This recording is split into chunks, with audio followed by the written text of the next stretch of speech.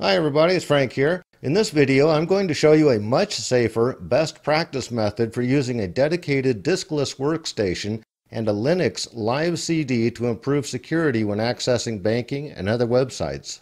So why would you want to do this? After all, you're meticulous at keeping your system up to date, you have a firewall on both your router and your computer, and you have antivirus installed and updated daily. All that should keep you safe, right?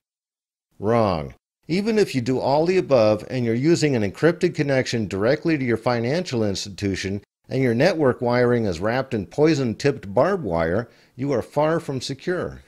The reason is, with sophisticated malware and rootkits being written and cleverly delivered, antivirus is simply not capable of catching all the threats out there and has always been ineffective against zero day exploits. These are exploits that are so new that the antivirus companies are not aware of them yet, and therefore they have no protection against. The fact is that antivirus is behind the curve and moving backwards. So here's the problem. Your operating system may be running various spyware applications or rootkits that are completely unknown to you and silently gathering up what you're viewing and typing and sending it off to somebody else. Log into a website and they will know where you went and what you typed to get there. But what if your bank uses some type of one time password scheme whereby even if they did get that information, it would be only good for that one time? One example of how to defeat this is after you enter your login information on your bank's website, a very legitimate but fake page is called saying that your password is incorrect or the server is busy while scripted software is operating behind the scenes accessing the site you've already logged into without your knowledge. Have you noticed in the news all the high profile data losses at financial, medical, governments, and other institutions in the last few years? Do you know someone personally who has had their bank account drained or credit and debit cards used without their knowledge? Has it been you? If you are unaware it happened and don't report it in a timely manner, the lost funds will likely be unrecoverable. Like cancer, the ideal way to survive it is to not have it happen to you in the first place. If you're a business owner, large or small, you're a particularly desirable target, but in my opinion, everyone should consider using what I'm about to suggest. This is something I've been doing for years now, and I discovered is a recommended best practice by security expert Brian Krebs. I'll include a link to an article of his about this in the show notes. So, what is this diskless workstation I'm talking about? It's basically a PC without any hard disk at all running a Linux operating system from a read-only CD. You turn it on and it loads a copy of Linux into RAM and runs it from there. When you turn it off, everything is deleted. Since it loads a fresh install of the operating system every time, you always have a clean install to work with. This is a great use for an old retired computer. Almost anything can work for this, including a laptop once you've removed any and all hard drives, but I recommend it have at least 2 gigs of RAM for best results. Before I get further on, let's talk about what you need ahead of that system. First, you should have a firewall configured on your router that's blocking all unused ports and unsolicited incoming connections from entering your network. If you're using wireless at your site, make sure you're using WPA2 encryption and have the access point locked down to help prevent outsiders from accessing your network directly and bypassing your firewall.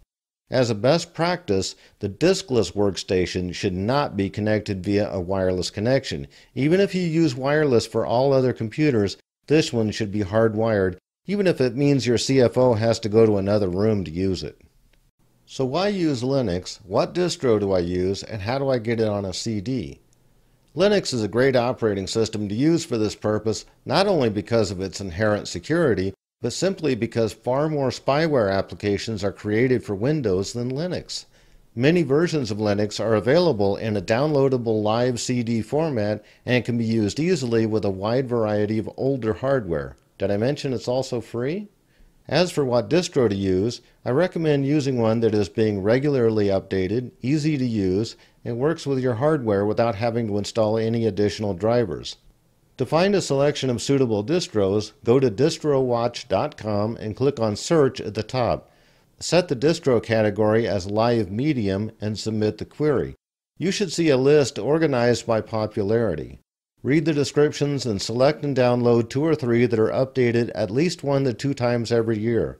Burn the ISO file onto a disk and start your system from it to verify that it works with your hardware without having to install any additional software. I made a previous video on how to burn a live CD and test it called Don't Fear the Linux. Rather than going back over this process for doing it again, I'll link that in the show notes if you need help with this. Over the years, I've used a few distros for this purpose, including Mint, Ubuntu, Puppy Linux, and PC Linux OS with good success. If your hardware will support it, Mint is a good choice. If you're using older hardware, you might want to try PC Linux OS. Although Puppy Linux was a great choice, I don't recommend using it now due to the fact that it apparently has not been updated since 2014 and therefore software on it will be quite a ways out of date, which might present compatibility problems with some websites and potential security issues.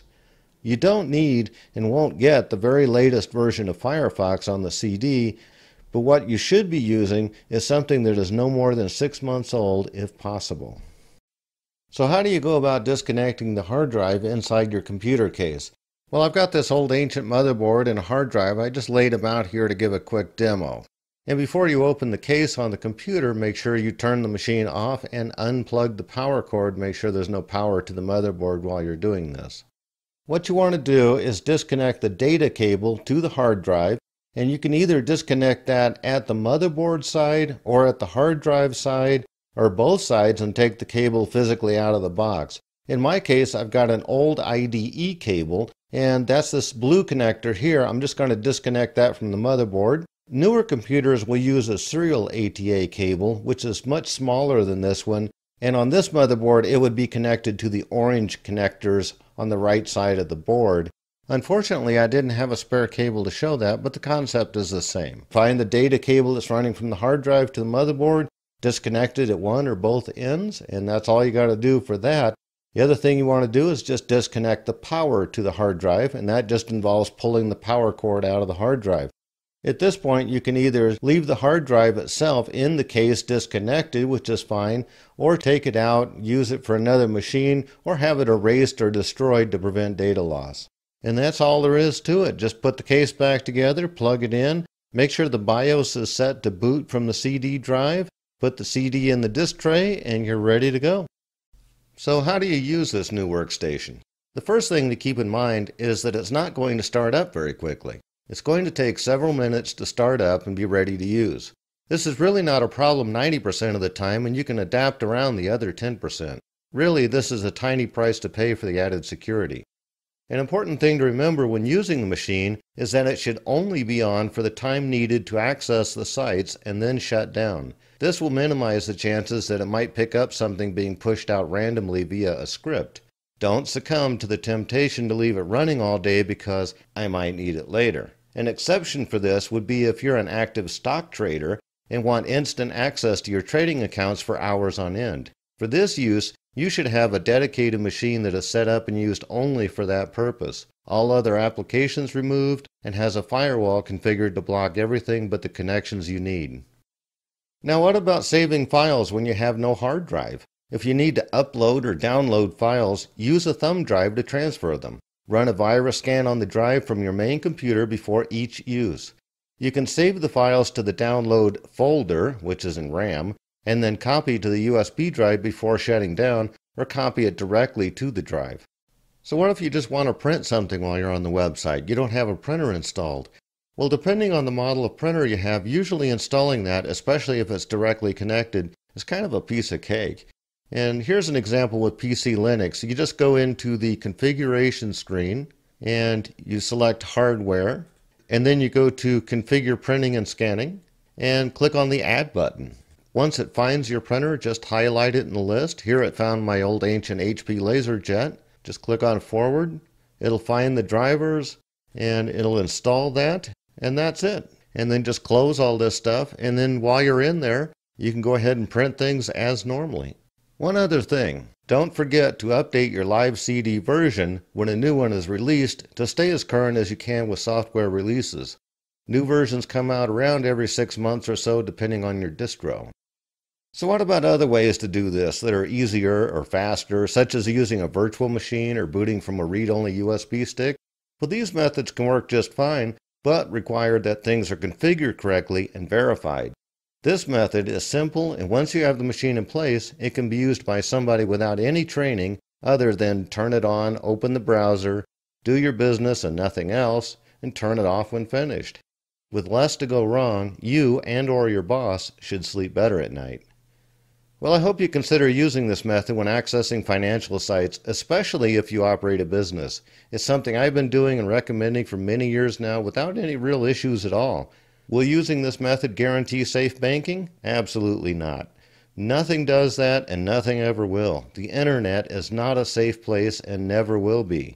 But by being aware of threats out there and using best practices for security on your end, you'll be much better off than that guy you saw the other day checking his bank balance on a shared computer in a hotel lobby.